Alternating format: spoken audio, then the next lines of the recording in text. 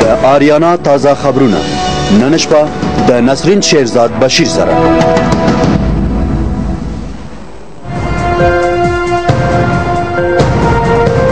د افغان ولسمشر له وروستي فرمان څخه د ټاکنو د خپلواک کمیسیون او ولسي جرګې ملاتړ په خوست او پکتیکا کې د بېلابېلو پېښو له امله شپېتو کسانو ته مرګ ژوبله او د پاکستان پر قبایلي سیمو د امریکا د بي پیلوټ الوتکو له بریدونو سره د دغه هېواد د چارواکو مخالفت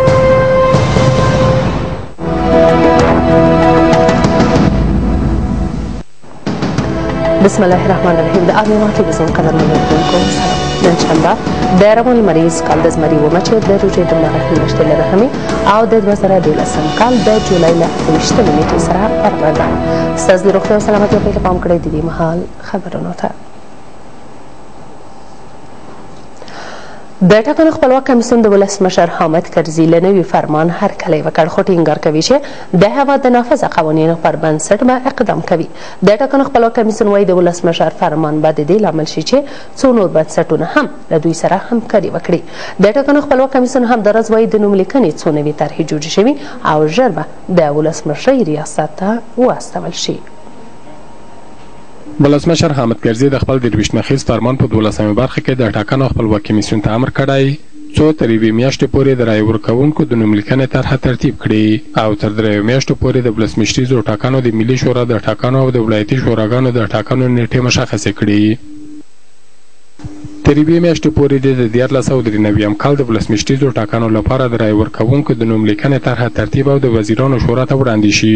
تر دریو میاشتو پورې دې د رڼو او منظمو ټاکنو پروګرام چې د خلکو مشارکت تضمین کړای شي چمتو او د ولسمشریزو ملي شورا او د ولایتي شوراګانو د ټاکنو زماني جدول دې ترتیب شي.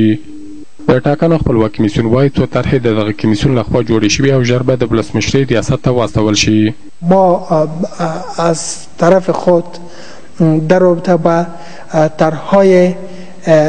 ثبت نام رای دهندگان که البته بیش از چهار پنج طرح داریم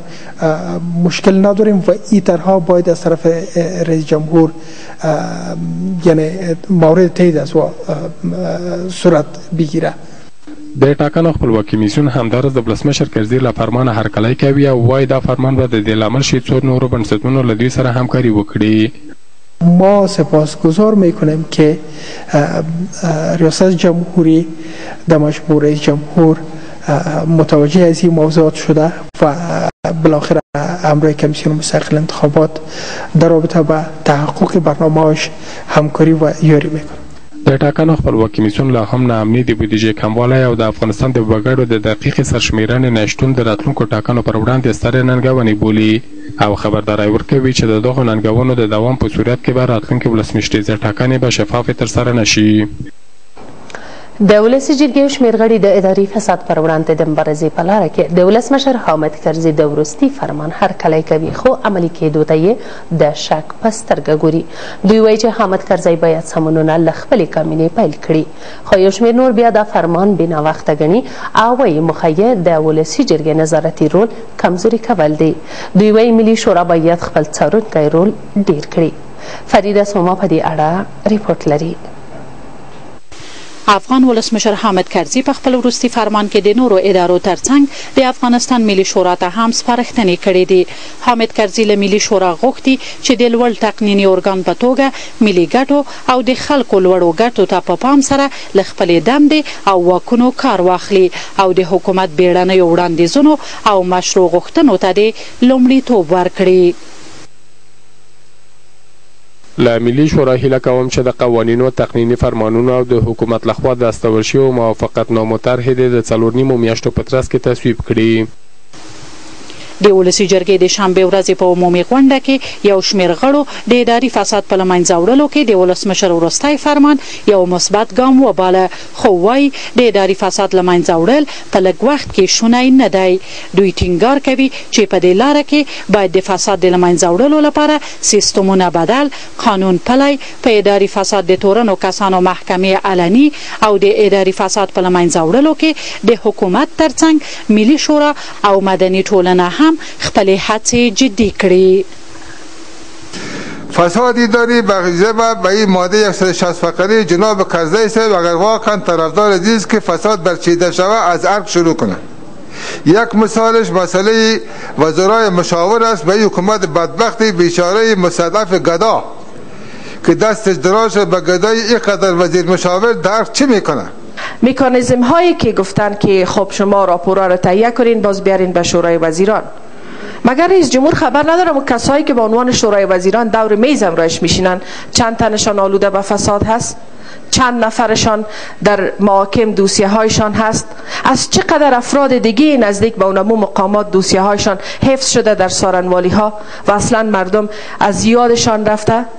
یا به یادشان نیست از اونجا هم باید آغاز شود تمام روک ها باز شود و دوسیه ها باید برگرفته شود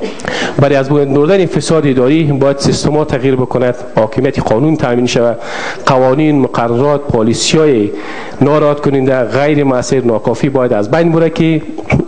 جای به فساد اداری باقی نمانه این موضوع اگر واقعا عملی شه ما میتونیم که با فساد مبارزه بکنیم خو د ولسی جرګې یو شمیر نور غړي بیا دا فرمان د پلي کیدو وړ نه بولي. دوی وایي ښایي دا فرمان د یو شعار بڼه ولري او یا یې هم موخه د حکومت په سیاسي مخالفینو فشار او د ولسی جرګې د نظارتي رول کمزوری کول وي. اولا نگرانی به ای است که متاسفانه قدرت کاملا مطلقه میشه نقش نظارتی سایر نهادها هم میره به دست یک فرد و ای مطلقه شدن قدرت طبعا امو در پای تبعات منفیش دیکتاتوری شدن است به نظر ما این اصلاحات تا وقتی آورده نمیشه که امی ادارات فاسد به وجود باشه در وجود امی ادارات فاسد چطور بتوانیم این فرمان تطبیق کنیم د ولسي جرګې دا غړي د اداري فساد د له منځه وړلو په موخه د نظارتي کمېټې د جوړولو او د خپل نظارتي رول په پیاوړي کولو ټینګار کوي. د خبرونو دوام په خوست او پکتیکا کې د بېلابېلو پېښو له امله شاوخوا شپېتو کسانو ته د مرګ ژوبلې د اوښتو خبر ورکړل شوی دی. په پکتیکا کې د ملي اردو چارواکي وايي چې په دغه ولایت کې د ناټو ځواکونو د هوایي بریدونو په ترڅ کې دېرش تنه وسلوال وژل شوي او یولس ټپیان شوي دي دوی وایي د وژل شویو وسلوالو جسدونه اوس هم په سیمه کې پراته دي بلخوا په خوست ولایت کې د بېلابېلو پیښو په ترڅ کې شاوخوا شلو تنو ته مرګ ژوبله اوښتې چې یو شمېر ملکي وګړي هم پکې دي نور حال له خوست نه د محمد رسول عادل په رپورټ کې په پکتیکا کې د دوه سوه درې تندر قول اردو د دویمې لواء قوماندان جنرال زمری وايي چې د شنبې په شپه ناوخته د دغه ولایت د ګومل سرحدي ولسوالۍ د نعمت اباد په سیمه کې وسلهوالو طالبانو په یوه پسته برید وکړ او له امله یې دوه سرحدي پولیس ټپیان شول. خو د جګړې پر مهال سیمې ته د ناټو هوایي ځواک ورسېدو او پر وسلهوالو یې بمبري وکړه چې له امله یې دېرش کسان ووژل شول او یوولس نور یې ټپیان دي. دغه جنرال زیاتوي چې د وسله والو ټول مړي او ټپیان په سیمه کې پاتې دي. د ده په خبره چې ژوندي خو ټول د وزیرستان اوسېدونکي دي، خو وژل شوي هم ټول وزیر دي. له دغو کسانو درې موټر، وسلې او مهمات هم د سرتېرو لاس ته ورغلي دي. بل پلو د خوست په ځاځي میدان ولسوالۍ کې هم د پولیسو په یوه سرحدي پسته برید شوی. د خوست ولایت مقام په یوه اعلامیه کې ویلي چې له امله یې درې وسله وال وژل شوي او شپږ نور ټپیان دي. وسله والو طالبانو تر اوسه د دې دواړو پېښو په اړه څه نه دي ویلي. د یو بل خبر له مخې د خوست ښار د کونډیو په سیمه کې د پټي پر سر د دوو کورنیو لفظي ټکر په وسله واله شخړه اوښتی او په ټس کې څلور کسان وژل شوي او درې نور ټپیان دي او همداشان د نادرشکوټ په ولسوالۍ کې یو تن د خپلې کورنۍ دوه کسان وژلي او خپله مور یې ټپي کړې ده.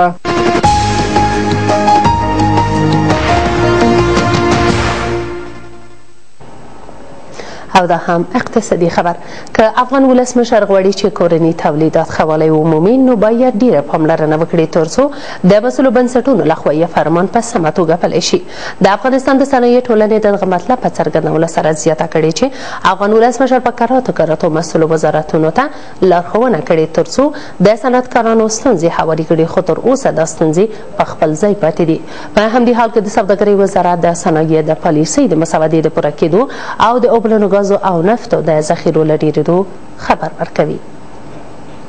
افغان ولسمشر په خپل هغه بې ساري او تاریخي فرمان کې چې دوه ورځې وړاندې خپور شوی دی،